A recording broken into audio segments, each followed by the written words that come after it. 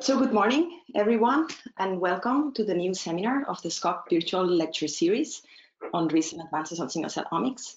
It's a pleasure for me today to welcome Julio Saez Rodriguez. Uh, Julio is both a full professor of medical bioinformatics and data analysis. He's also the director of the Institute for Computational Biomedicine at the Faculty of Medicine at Heidelberg University. He's also a group leader on Molecular Medicine Partnership Unit between Heidelberg University Hospital and EMBL. And finally, he's also a director of the DREAM Challenges. Um, Julio will talk today about um, extracting mechanistic insight from single-cell spatial transcriptomics. And before we um, start the talk, I wanted to remind you that the next talk will, will take place in two weeks on Friday, 17th of July at 10 a.m. by John Marioni. And yeah, finally, before uh, Julio starts the talk, please, if you have questions, you can use the, the raise hand option on the GoToWebinar. And you can also um, write questions on the, there is a question tab that you can use for writing questions. So Julio, the floor is yours. Thank you. Can you hear me? And do you yes. see my slide? Maria? Yes. Yeah? Yes, I can see the slides. Great. I just don't know how to mute myself, how to take my, ah, there we go. Okay.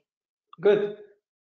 Yeah, thanks so much, uh, Maria, for the kind introduction, and thank uh, you and Fabian and Marco and everyone else, uh, Maria and Nina, everyone's the team for organizing these great uh, events, which is, I think, a wonderful way to stay in touch despite the difficult times. Uh, and so today I would like to share with you some of our recent and ongoing work analyzing single cell and also spatial transcriptomic data to try to extract a mechanistic insight. So in our group, so we are a computational group, and broadly speaking, we try to use different types of omics data to understand better human disease with the ultimate aim to to find the better therapies for patients uh, for personalized medicine. And, and, we do this across different areas. We have worked largely on cancer in the past, also autoimmune diseases, and more recently in cardiovascular and, nephrology area. And, and our broader strategy is to try to use um, different machine learning and statistical approaches for this end, but we put a lot of emphasis in how we can use biological knowledge to help us in this task. So how can we support algorithms uh, using what we know about the underlying molecular processes. And the idea, generally speaking, is if we have different omics data, and of course, uh, I will discuss this in the context of single cell data, uh, we will try to extract signatures that, as you will see, could be, for example, the activity of a pathway. And these signatures is then what we can input to our algorithms. Uh, and, and the idea is that we have a twofold benefit. So on one hand, because we're going to look at the number of signatures, which is much lower than the number of actual molecules, let's say of genes. We can increase our statistical power, but also these signatures are really rooted on molecular processes that we can then understand, interpret, so we can improve what uh, interpretability of our uh, um, results uh, concerns, and also they are more amenable for validation or, or follow-up studies. So the first thing that we need to do this type of strategy is access to a lot of biological knowledge. And for this, we developed this resource called OmniPath that is really just a one-stop shop to give you access to many resources with the idea that like if you were to go to, to check new glasses, you can try different lenses until you find the right lens. Through OmniPath, you can try different resources alone or in combination to answer a particular question that you're interested in. And um, so OmniPath also with OmniPath we develop a number of benchmarks that we make available and also can be done for further benchmarking. And it's a resource that is available either uh, as a bioconductor package, as a Python package, or also as a Cytoscape plugin. So OmniPath includes over 100 different resources, uh, over 2 million annotations for over 20,000 proteins and 16,000 complexes. And as you can see in this figure, it covers really different type of things. So we did start uh, looking at pathways and protein interactions, but we have expanded to different things such as transcriptional regulation or 3D structures and so on.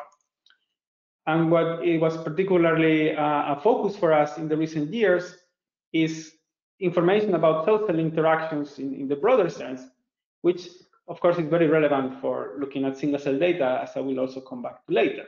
But as you can see, many of our resources, like ligand receptor information, extracellular information, or localization, uh, include um, uh, many available uh, resources that teams have done, so great tools such as uh, CellPhoneDB or, for, for cell-cell interaction and, and, many others. And all of this is available for you in one place that you can either, as I said, Bioconductor, Python, or Cytoscape reach. So once we have this um, knowledge, we try to use it, as I said, to extract mechanistical features. And I will focus today on transcriptomic. And the way we think about transcriptomic mostly for us, which is a group that focuses around signaling and regulatory process, is that transcriptomic is like the footprint of upstream processes. And uh, you know that there are many pathway methods, and those pathway methods, what they typically do is if you want to know if this pathway here is active, you will look at the transcripts that constitute this pathway. But the pathway is built of proteins, and whether there is more or less transcript doesn't mean that there is more protein necessarily. And also the activity of these proteins is regulated by, for example, localization or by um, uh, modification like a phosphorylation. So that's why we think this idea of the footprint is a much more meaningful one. And then what we did, and this was work of, of Michael Schubert, who actually now works with, with Maria when he was a PhD student with us, and then we have we have expanded this, is to uh, create a large number of experiments where people stimulate cells, activate different pathways, and we use that to extract uh, specific signatures of the pathways that then we can use to go to samples of interest and extract estimation of pathways. So following the same idea of, of, the footprint, but now looking at transcription factors, we also developed a resource called Dorothea that allow us to estimate transcription factor activity from gene expression. And here again, uh, uh, we put a lot of emphasis on integrating a lot of resources from literature curated resources to ChIP-seq, binding motifs, or purely data-driven uh, uh, transcription factor target uh, information, the so-called regulons, we have information for over uh, 1,500 transcription factors. And we did also a lot of benchmarks that I will not discuss, but they are in, in this publication here. And what really comes out is that there is a balance uh, uh, between coverage and accuracy. As, as you move through this wheel, if you like, you can increase the coverage, but you will lose accuracy. But again, here is, is, is this idea of having this resource to uh, infer a feature uh, from, from gene expression. And the last one along this line is tool called Carnival that connects the pathways, the upstream uh, pathways from progeny with transcription factors by searching in a large signaling network that uh, we uh, build with Omnipath, although you could use other resources. It tries to identify causal paths that connects them and that explain how particular ligand is able to activate uh, different pathways. So I didn't get into details, but in, in our work, we have seen that these methods work on bulk RNA data, but that doesn't necessarily mean that it will go with single cell data, right? So we know single cell data has a number of unique features, uh, complications such as the low coverage and so on. So we really wanted to know before going with these methods ahead, do they really work well on single cell data? And for this reason, in a recent study that was spearheaded by Christian Holland, a PhD student in the lab, uh, we tried to, to, to develop benchmarks on single cell. And there were, and there are still maybe not so many data sets we can use because to benchmark whether these methods work, you need to have positive controls, for example, knock down a transcription factor and see if when you estimate its activity, uh, it corresponds to what you know have been done in experiment. So because we didn't have so many of these, what we did is to take the data on bulk and to simulate as well as we could the features of, of single cell data such as dropouts. And then we ran on this simulated data uh, our tools as well as other more standard tools, uh, and then we try to see how well they perform. So the first thing that we, we found is that if you try to see the effect of, of loss of gene coverage on these methods, uh, of course there is an effect, but the, the transcription factor estimation with Dorothea and the pathway estimation with progeny they are reasonably robust. So here you can see how the performance, they are in the, the ROC curve, decreases with the coverage, uh, but even by, by 500 genes, you are still at least above the 0.5, which will be random prediction. So we're able to capture some signal. Progeny is uh, uh, even more robust, so you can see that remains over 0.6, even though as you go down to 500 genes. But actually, if you look at um, other methods like a classic Joe gene set enrichment analysis, it drops and it drops faster so that by 500 genes, you are pretty much at the random level. So this means that these methods seem to be robust because yeah, you are combining effectively many genes to get the signal, and this helps to, to extract the signal. Then we took some of the existing uh, actually real data on single cells with perturbations. As I said, there is not much, but there is some. So for example, we took a study with Perturb-seq, and we look at transcription factors, and, and, and then we see that with this resource Dorothea, uh, we get a, a area the curve of 0.7. Uh, again, here, if you add those regulators that regular regulons that, as I said, have more coverage but less curation, you have a certain drop in performance. Uh, uh and if you compare with other methods like Scenic or AUCell, which is the algorithm Scenic, or, or which actually are supposed to be specific for single cell data, they, in our um, hands, in our benchmark, uh, they perform worse than using Dorothea with the more classic Viper algorithm. And finally, to, to try to look at this from a more uh, um, point of view of the actual use of this data, so we took a look at, at some nice data from Holger Heyn's group, where, where they benchmark many different single cell technologies on blood cells and PBMCs. Uh, and in this study, they have annotated the cells by, by the cell type. And, and so what we said is, okay, can we look at this data and are we going to able to extract the, the, clusters of the different cell types uh, using our methods? So for doing this, we look uh, um, uh, at the silhouette width of the cluster. So this is a metric of how well cells cluster. As a kind of a reference, we took the 2000 highest variable genes and zeroed. So this is that performance. If we now take only 113 transcription factors, uh, you see that you are worse, but uh, not too far. This is again Dorothea, and as, as in the previous case, if instead you use AUCell from Scenic or MetaViper, you do a bit worse.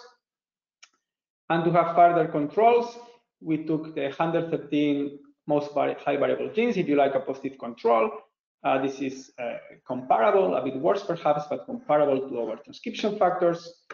Uh, uh, and as negative control random genes with that, that perform much worse. And if you look at the expression of these actually 113 transcription factors, it's really much worse. And I'm going to show you that uh, uh, on, on, a UMAP plot. So here is how the cell lines or the cell story look like annotated with you look when you look at the expression of the transcription factor.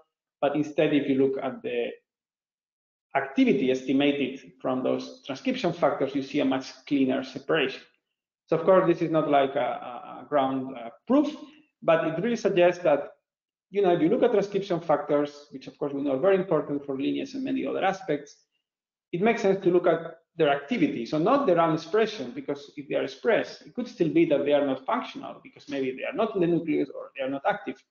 So rather use the activity of the transcription factors.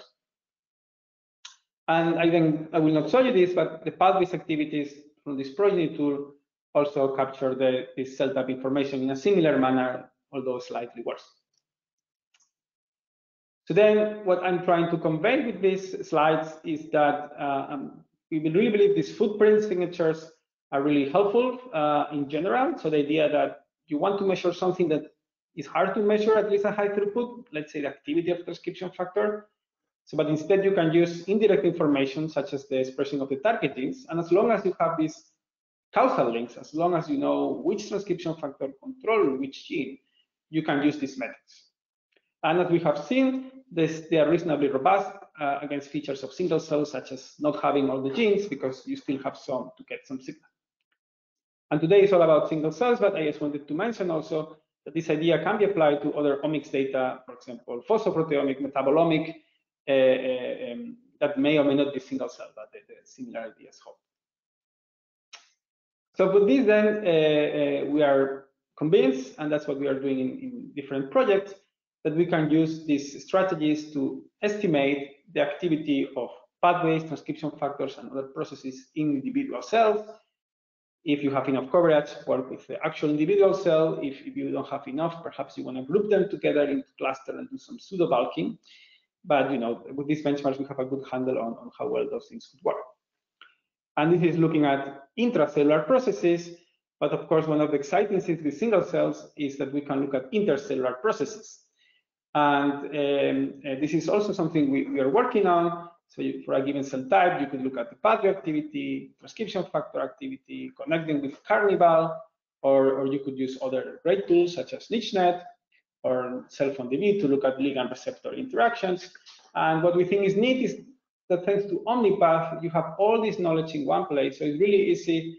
Um, we have uh, workflows and, and, and code that we are also happy to share, whereby we can really do all this type of analysis from one place. So, um, so I've been talking now about um, um, cell-cell interactions and, and how we can study them. And, and of course, where this is particularly exciting is if we can look at spatial context. So we can study interactions in, in, in single cells in suspension, but if this comes from a tissue, we are losing a lot of information. And, and I guess in, in this uh, um, community, uh, you, we are all very well aware of that and also of the fact that uh, uh, these are great times for looking at this because new technologies are providing a spatially resolved, highly multiplexed RNAs, also other proteins such as proteins or sorry, other molecules such as proteins or metabolites. So, so we've been also starting to think how we can uh, move in this direction, always uh, focusing on this question of cellular interaction and cellular signaling. And, and thinking about it, there is a, good number of uh, challenges that we need to address, I think, as a community. And, and I will just share some thoughts and some of our um, work on this, but really think it's something we should all work together and there is a lot to do and we can collaborate on. So one aspect to, to keep in mind is that these different spatial gene expression technologies, there are many, as I said, and they all have pros and cons, but in general, you either have a limited coverage of the genes or or both or a limited resolution, right? So some technologies like the 10x Visium that I will show you in a moment, we, we don't really have single cell resolution, so we have groups of cells. So for that, a variant is to include other data, which is actually single cell, like single cell RNA-seq, of course, but maybe also single cell ATAC-seq. And, and, the question is how we can use this data and as much as we can prior knowledge to, to, to improve our understanding of the biological processes.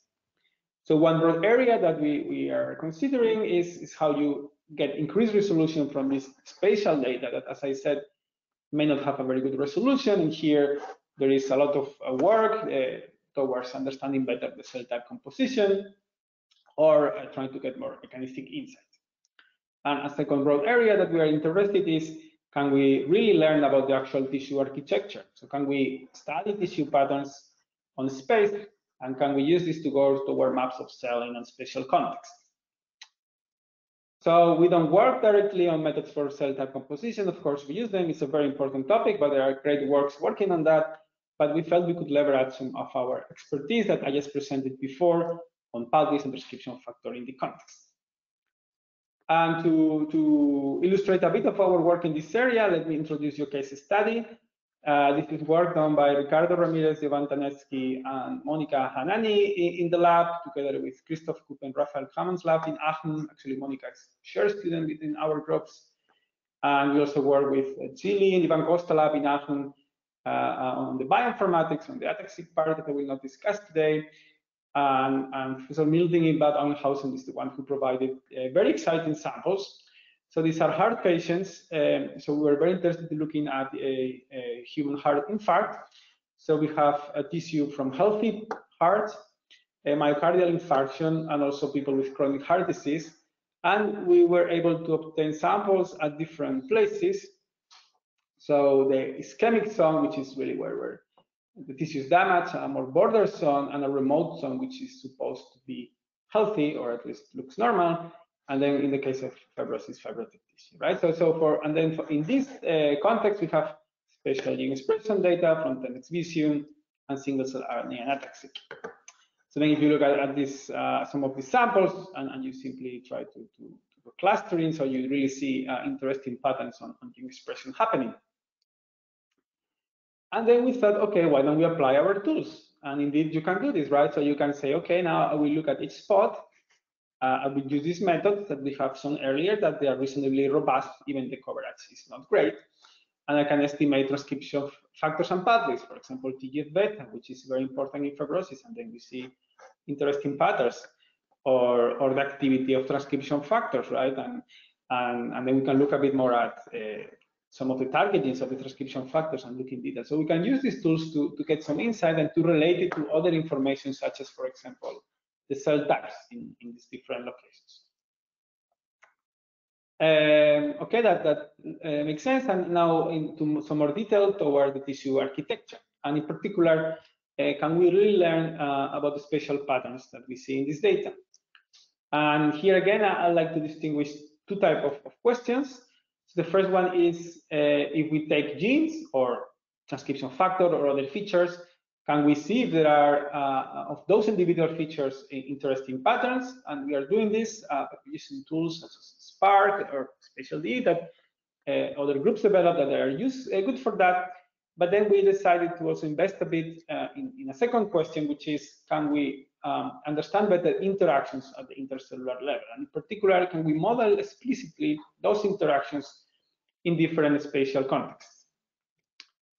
And for this, we developed a framework called MISTy to really dissect intercellular interactions.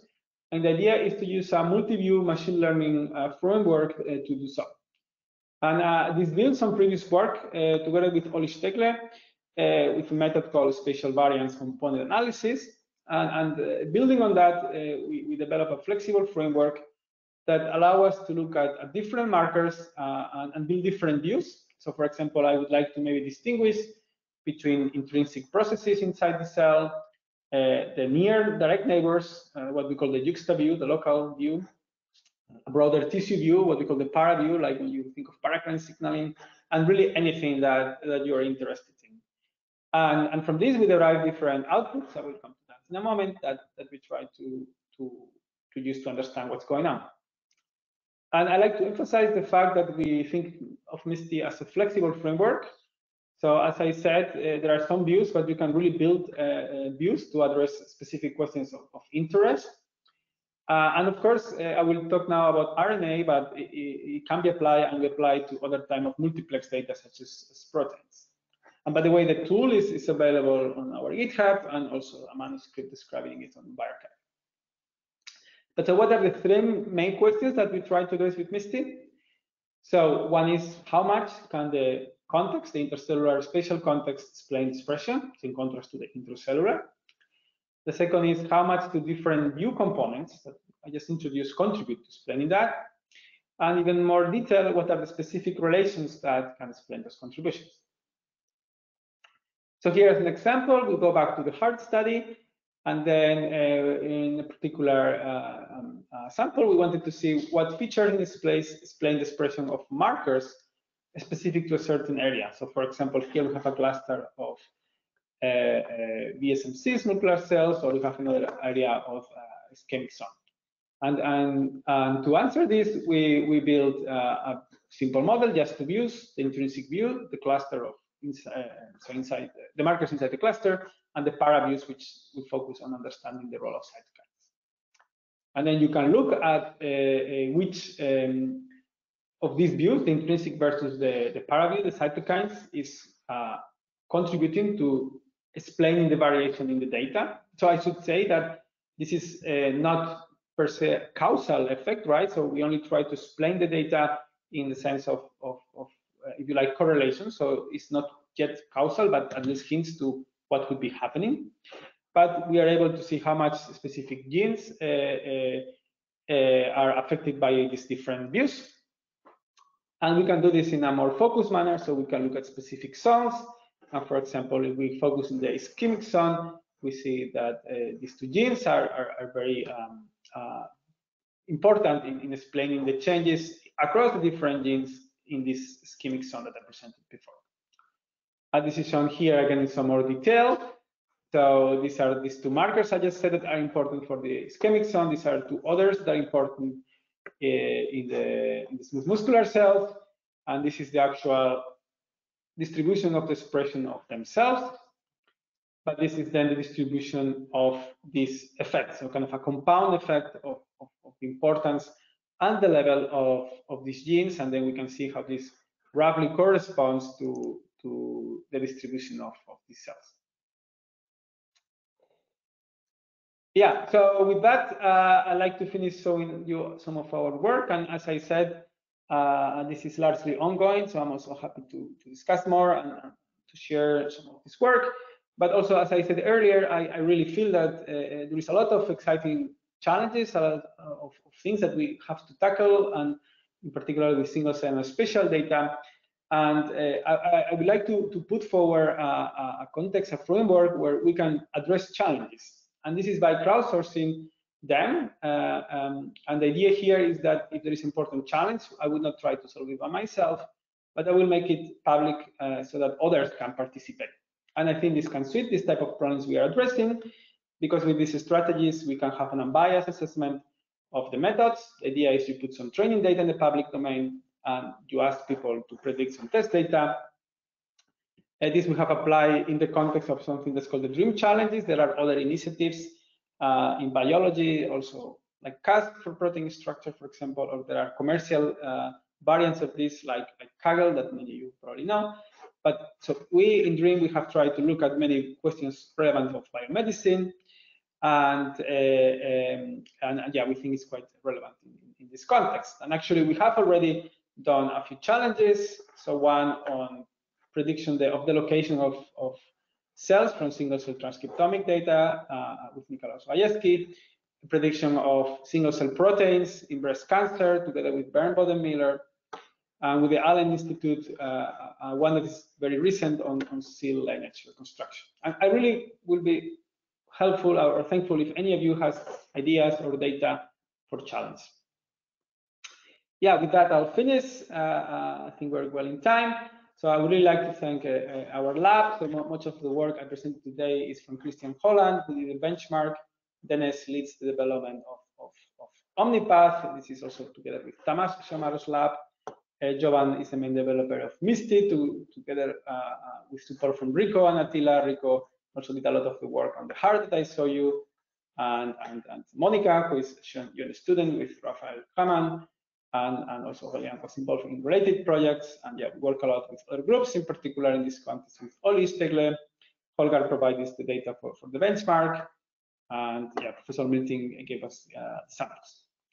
And I just finished with some uh, summary of what I was trying to, to convey today. So we really think that biological knowledge helps to in, in dealing with single cell data. It improves performance and interpretability. Uh, it's robust to some of the features of single cell data. And we really recommend to think of RNA as a footprint, it's a downstream of something that happens in the cell. I really believe benchmarking methods is critical. The field moves very fast, but we really need to make sure that what we see is what we think, or at least to have a good uh, uh, confidence that that's real, what we see. Uh, I introduced OmniPath, which is no rocket science, but we think it's a useful one-stop shop for biological knowledge for single-cell data. And the last part, I discussed some challenges and some ongoing work on spatial transcriptomic data uh, and how, uh, in particular, these multi-view models from MISTY can be maybe a useful way to, way to extract intercellular interactions. And with that, uh, I finish. I thank you for your attention, and I'm happy to discuss any questions. Thank you. Thank you so much, Julio, for a wonderful talk. It's now time for questions. Um, you can raise your hand. Okay, and I will try to unmute you. I hope it works. So the first question is from Carla Pairo Millet. I will unmute you and I hope it works. You should be unmuted now. You can ask your question. No?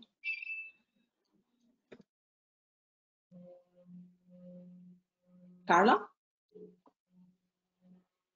Okay, we try with the next person then. I don't know what happened there. Um, Holger Kirsten has a question. That should work. Uh, okay, can you hear me? Mm -hmm. okay. uh, I uh, um, thank you very much for the really uh, enlightening talk. Um, could you uh, uh, relate your approach to the things that is done with Ingenuity pathway analysis? There's a certain overlap to my field. Could you just comment on this? Yeah, indeed, conceptually they are very similar. Uh, I think it's better if you mute. Yeah. Um, um, uh, I would say that the main difference is ours is all open, so it's all transparent. You know where we get things from. You know our algorithms. You can check them, and I think this is important. Uh, uh, I mean, I have no specific problem or critic with Ingenuity pathway, but in our hands, it's really important to understand the details and, and to, for example, you know, how are you doing significance? What is your null model? All these things are important. And when you do these tools, everything is open. So that's the main difference. Uh, but indeed, uh, these are tools that are really useful. Yeah. And it's free, I guess, our stuff. And did, did, did, and did you do some benchmarking of both approaches? So I would be happy to, but uh, we will need to convince them to share with us uh, um, their stuff uh, uh, or um, I would be happy to if you have access we can run them in parallel uh, and but no we, we couldn't do it right we don't have the license good thanks while we wait for more hands ah Fabian has a question I also have one but you... hey Julio that, that, that, was, that was that was really nice I was wondering about the um, MISTy the interactions that that you learned there that you want, want to find. This is now not based only on receptor ligand interactions, right? But this is also focusing on proximity of cells and also of potentially like diffuse. So that doesn't, for example, I mean, your delta nodules need to be touching. For other ones, there could be some diffusion gradient and so on. So what exactly is being used and how do you do that? I kind of missed that part. Yeah, yeah, yeah. Sure, I was uh, very brief. So indeed, it's a combination of those things. And at the end, in the in the simplest way, for example, you would only say in a data-driven way, what is the, the kind of the, the, correlation or how well can I predict something from the neighbors and maybe I can weight uh, by, by the distance, I can put a limit or I can say, you know, kind of the effect will be diminished with the square of the distance. And this is not using biological knowledge yet, as you were pointing at. Uh, this will be pure database, uh, data-driven, but indeed what we are working now is how we can use biological knowledge to improve this as you said, ligand receptor, maybe model the diffusion. I mean, the diffusion in a way we, we kind of model it if in our views we include uh, a function of the distance. Uh, but I think there is more a lot to do, and that's really exciting for us how we bring into these uh, biological mechanisms. Yeah. And this works uh, for for the sort of not single cell resolved Visium data as well, where you know you always have like a mixture of 10 cells or something like that, or would you maybe preferably do this for protein expression data where you actually have real single cells? Yeah, indeed, in the protein, of course, it's cleaner in the sense that, yeah, you are looking at single cells. In the in the Visium, you can run it, and then your unit is, is, is the spot that, as you said, is a mixture of cells. Then you have to be careful when you interpret the results, uh, because it will simply tell you, you know, this spot depends on what's happening in that spot, but doesn't mean that this individual cell. And again, you could think of combining this with uh, uh, methods that try to use maybe single cell RNA data to kind of uh, deconvolute the cells in a specific spot. And we are trying to think a bit about this, but I, I think that's also a very interesting further area. Yeah. Yeah, that's I think interesting. I mean, there have been some approaches that do it, but then they, you do it step by step, but potentially actually doing it at the same time that might improve that, right? It's very interesting. Yeah, would be nice to discuss more. Yeah, yeah. Um, wait, there is a question. Uh, just a minute.